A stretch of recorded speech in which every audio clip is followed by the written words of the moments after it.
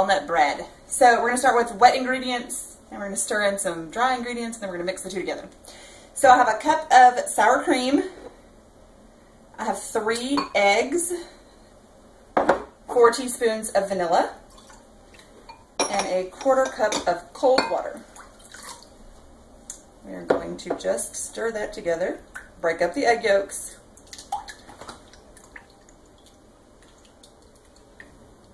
There we go. Doesn't need to be perfect, just enough that the eggs are broken apart. Then we're to go to our dry ingredients. Um, I'm going to use the mixer, so we're to start with our mixing bowl. I have five cups of flour to start with. If we need more, we can add it. But we're to start with five cups. A um, half a cup of sugar, plain white sugar, a teaspoon of salt, and then one envelope of rapid rise yeast. We're just going to stir that together.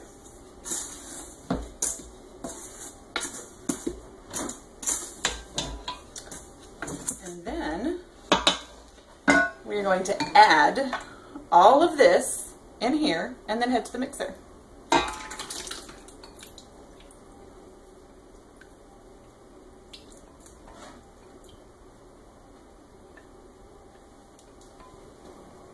So we're going to use our um, dough hook attachment.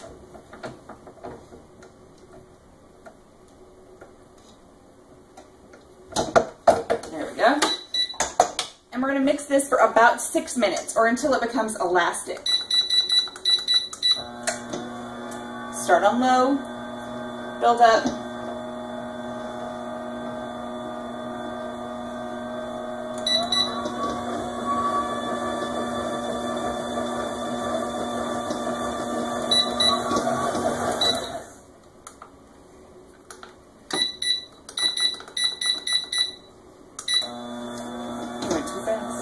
That's what happens. When flour starts flying out the top, you have moved too fast.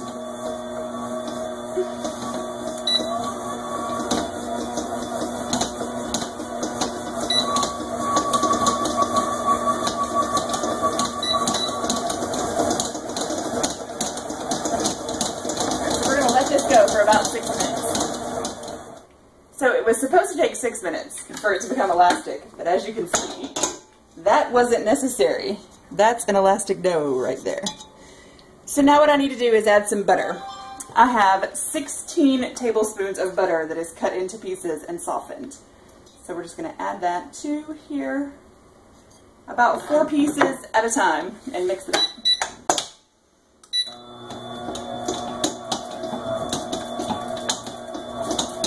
And if necessary, you can scrape the butter from the sides.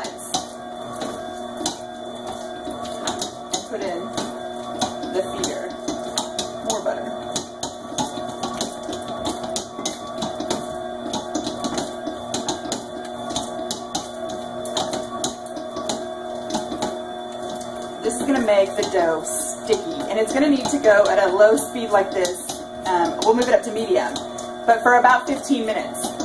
And then if the dough gets too sticky and too wet, we'll have to add some more flour. There are our 16 tablespoons. Alright.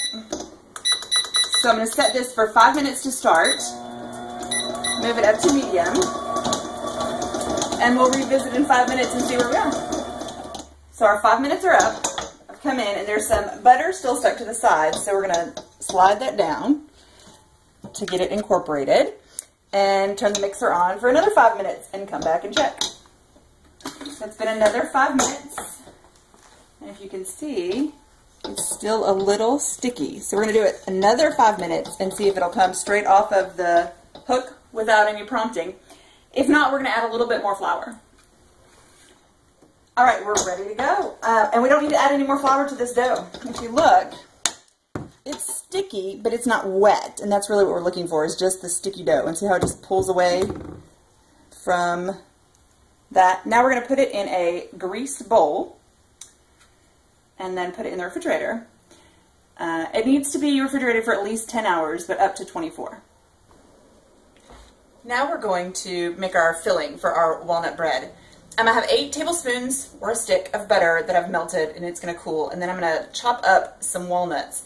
They don't have to be tiny chops. It's kind of a coarse. You wanna have chunks of walnut, but we don't want whole walnuts because that's a lot inside of a piece of bread for someone to eat. So we're just gonna put a handful at a time. And just give them a coarse chop. And good. And you need a cup. So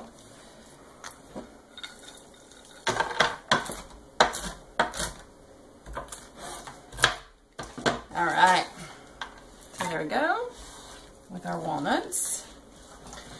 To that, we're going to add two teaspoons of cinnamon and a cup and a half of dark brown sugar. I like dark brown sugar just because I like the molasses and the caramel flavor that you get. Um, I have discovered that the molasses content that you get in light brown sugar is almost non-existent. So I cook with a lot of dark brown sugar now. I'm going to mix all this up.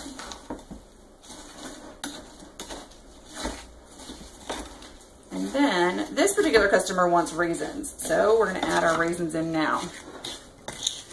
This is going to make two loaves of bread. We're going to use a cup of raisins. So now that all that is mixed,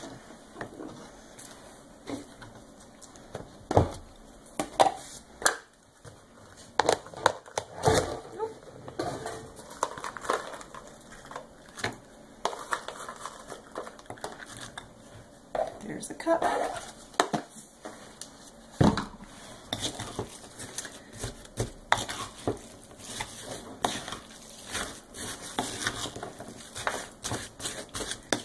Now we're going to roll out our bread.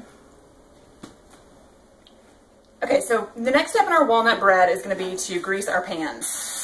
I'm just to spray a little bit of grease on there. And then walnut bread is sticky, um, and the filling in it oozes out. So I'm going to create a bread sling. This is just a piece of, piece of parchment paper that we're going to put inside that is going to hang off the sides so that when the bread is done, you can lift the parchment paper up and the bread will come right out. And we're going to spray that a little too, just to be on the safe side. All right, the next step is going to be to roll out our bread. Here is our beautiful dough that has been chilling in the refrigerator overnight.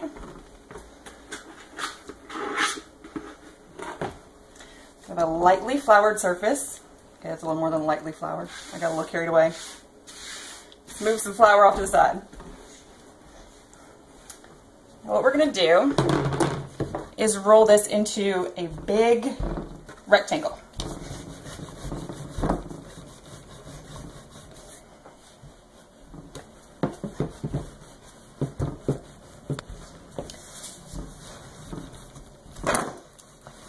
So the way I make walnut bread is very similar to the way I make cinnamon rolls. And that we're going to roll it into one giant rectangle. We're going to put the filling in. We're going to roll it up. We're going to cut it into what look like rolls. And then we're going to stack them in a loaf pan. And during the baking process, those uh, the, the breading will adhere together.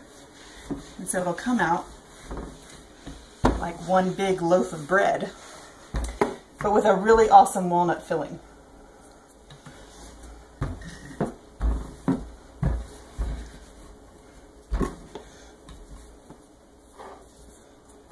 All right. So now we're going to take our walnut filling.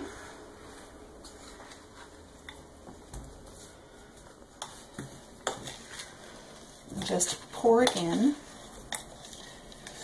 I pour it all in at once and then spread it out on my own. So I can get a good idea of where everything is. you want to leave about an inch around the edges where there's nothing so that there's a way for us to pinch and roll.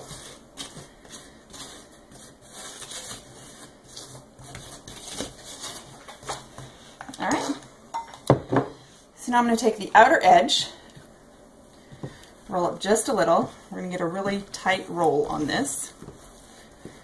And not to worry if the dough sticks. Just grab a little of that extra flour you have.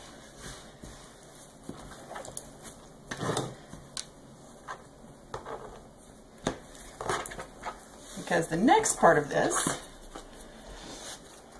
so now that I have the giant roll, we're going to thin it out. You want it to be longer. So I'm going to take some flour, rub it over the top, flip it over, and just mold it to the to the center shape that we want.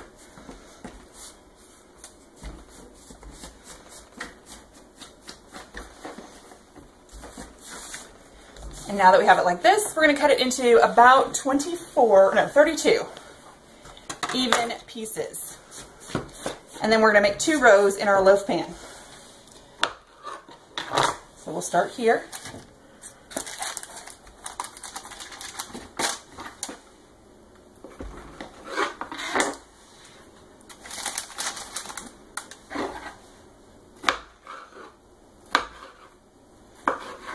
Want them about a half an inch thick.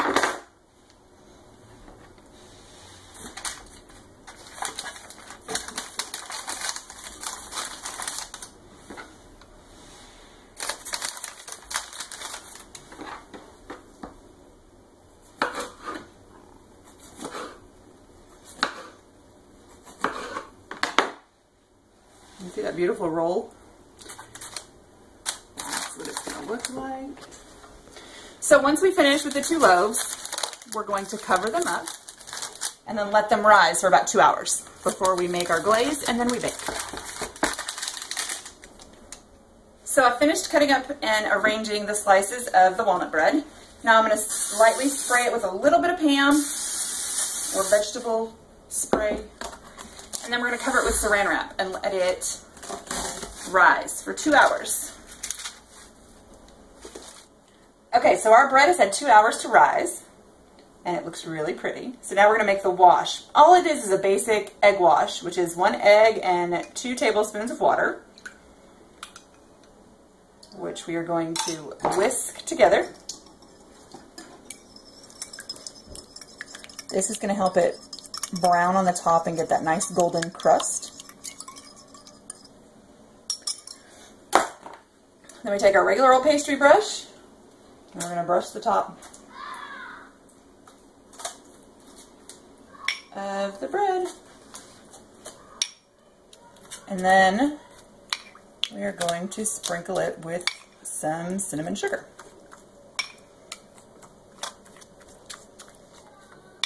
And you want to make sure that you get all the sides of the egg, but you may not use all of the egg wash if you don't need to.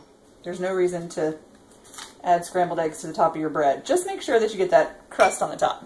Then we're going to take our cinnamon sugar. You can make it right then. I have always have a shaker on hand because we like cinnamon sugar in this house. Liberally sprinkle the top. And then we're going to put it in a 450 degree oven. Now, one of the things about my walnut bread is I like a, a dark crust and I like this steam, um, the, the hard crust on the outside and a soft bread on the inside. So I started at 450 degrees, but as soon as I put the bread in, I reduce it to 350. It's going to bake for an hour, but that steam created by lowering the temperature immediately is going to create that nice golden crust on the outside. Our walnut bread is finished out of the oven, and so now we're going to use that sling we made with parchment paper to just lift the bread right out of the pan, and it's ready to serve.